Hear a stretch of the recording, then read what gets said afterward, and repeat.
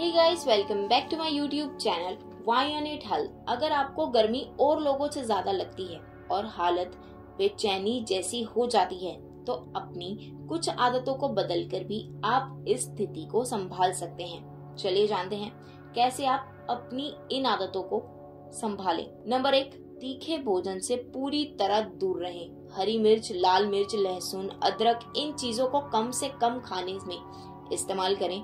ये शरीर की अग्नि को बढ़ाते हैं, जिससे शरीर गर्म होता है। ज़्यादा तेल मसाले से बना हुआ खाना आपके लिए बहुत ही नुकसानदेह है।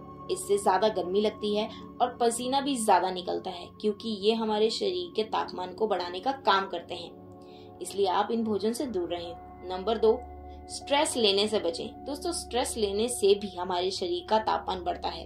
जिस वजह से कुछ लोगों को ज़्यादा गर्मी लगती है। ऐसे में हमारा ब्लड सर्कुलेशन बहुत ज़्यादा हो जाता है। इसलिए आप स्ट्रेस लेने से बचें। नंबर तीन सोल्टी फ़ूड से परहेज। दोस्तों, बहुत ज़्यादा नमक वाला खाना खाने से बॉडी टेम्परेचर बढ़ जाता है। दरअसल, जिन फूड्स में नमक की मात्रा अधिक होती है, वह डिहाइड्रेशन का कारण बनते हैं, अधिक नमक वाली चीज़ें खाने से। पानी की कमी होती रहती है। जिससे बीपी हाई हो सकता है।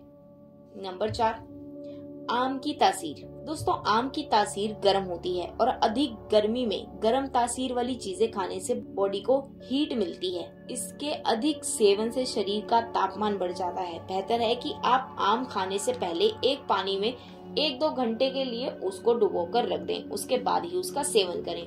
नंबर पाँच, ऐसे रखें बॉडी को कूल नंबर एक, गर्मी में बॉडी को कूल रखने के लिए हरी सब्ज़ियाँ खाएँ। नंबर दो बॉडी को हाइड्रेट रखने के लिए पर्याप्त मात्रा में पानी पिए। नंबर तीन, सुबह दस बजे से शाम चार बजे के बीच बाहर निकलना अवॉइड करें। नंबर चार, जितना हो सके लाइट फैब्रिक कपड़े पहने। नंबर पाँच, बाहर निकलते वक्त छाते या सन ग्लासेस का इस्तेमाल ज़रूर करें। नंबर छह, उन फल और सब्जियों को खाएँ जिससे पानी की कमी ना हो और उसमें पानी अधिक हो। तो दोस्तों, ये थी मेरी आज की वीडियो। उम्मीद करती हूँ मेरी जानकारी आपको पसंद आई होगी। तो इस वीडियो को लाइक करें शेयर करें और हमारे चैनल को सब्सक्राइब करना बिल्कुल भी ना भूलें। फिर मिलूँगी एक न्यू वीडियो के साथ। तब तक के लिए टेक केयर एंड बाय